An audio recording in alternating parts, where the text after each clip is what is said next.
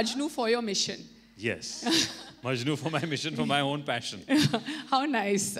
I mean, everyone would like a Majnu like that, right? Well, speaking, the, uh, speaking about a Majnu like that, now imagine if your character, Nasreen Rashmika, were to wake up one day and realize that the person she is in real life, like imagine if Rashmika were to wake up and realize that the person or the partner she's with is actually an undercover agent. How would you react? As in, she wouldn't know, no? no, eventually pata chal gaya to. If you oh catch my him, God. If I catch if that mission him, is unsuccessful from his part, no, I will keep it a react? secret and support him in his mission. Wow. Wow. वाह, वाह। अभी मतलब कि आप दोनों मतलब twist, इतना बड़ा twist कि suddenly, यहाँ पे maybe these are hints for the film, never guys. You know, never know. या यहाँ पे अपने मिशन के लिए मजनू बन रहे हैं ये अपने मजनू के लिए मतलब मिशन पे जा रही हैं you guys are really well cast. इतनी आसानी से इनको कन्विंस कर दिया आपने कि मेरी असलियत ये नहीं है ओके पहले said तो okay. प्यार है ना, I think because of the love. Hmm. Which do you remember the scene? Oh no, really?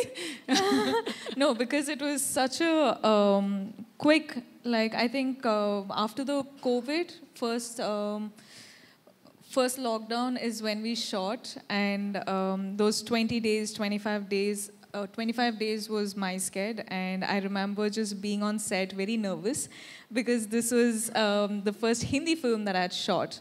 And i was very nervous with uh, i didn't know uh, for sure what sort of working atmosphere it was. And of course every new team that you walk into every new character that you're doing and the story that you're saying um, sort of like you have that butterflies in your tummy, right? Before you walk into a, a set. But I think I remember that first uh, sked in Lucknow was, it was very quick because I missed it so much. We had such a blast. Um, we were constantly creatively on a high because uh, we wanted to sort of like get it right, you know. And I remember doing that we had rehearsals we had uh, readings and at the same time we would go to the set and um, you know it was like quick work and um, yeah it was it was just like so amazing i want to go back in time Um, so I think we we actually technically don't know much about such covert missions because the purpose of it is to keep it a secret. Um, none of the teams can really come out and claim they've done that, or we'll never get the exact details. But now, possibly 50 years later, we know uh, connecting the dots, and uh, that's what our writers have have done all the homework to make sure that we get the right balance of being authentic and yet add our flavor of uh, uh, you know commercial cinema onto it to make it a streamlined story. Uh, so the character that I play or we play are completely fictitious, but the events that happen in it is uh, are real, uh, something that have happened. Um, and we uh, we did a lot of readings and workshop. I remember in my house, be it you know Amar, Garima, uh, Shantanu, we would just sit down and start uh, doing readings of the script and coming up with ideas as to uh, what and how we can do the particular scene. Um, even this sewing machine right here, this old school one, I've um, possibly it's the same one that I've practiced and rehearsed on for that one scene, um, trying to get the actual uh, uh, authentic way of uh, making clothes in 1970s. Um, and I think uh, the rest was something that we've all tried. You know, every scene was different. Uh, every scene had a different flavor. So we're really excited for the 20th of Jan now. For people, this is my first time playing a spy, so I'm, I'm extremely excited to see what people think. And sit on a scooter for the first time as well. So Yeah, even the scooter, even the, the 70s scooter with that lovely color. What, what do you call that color? Dada? Lambretta, what is it? Yeah, yeah, but Yeah? wo- that color is uh, some such a unique.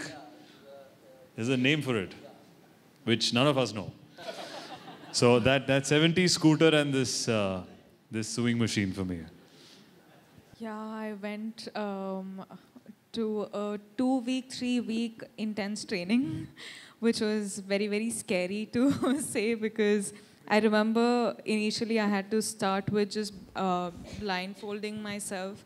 And I reached to a point where I could make like aloo sabzi without looking, lighting the, lighting the, um, you know, everything, everything. There was a tennis ball, um, you know, thrown at me, and I had to close my eyes and catch it, sense it and catch it, and I had to count my steps. Um, in and out of the um, place I was training at and everything. So this went on for almost uh, two, three weeks, and I, I think, and wow, that was quite uh, hard, intense. Yeah. So, but I realized that when one of your senses are, you know, um, taken away, all your other senses just like highlighting and I really, um, as in, I realized this, and I think while shooting also, I had to figure out a way uh, which was comfortable for me to maintain throughout the whole, um, you know, uh, performing this character. And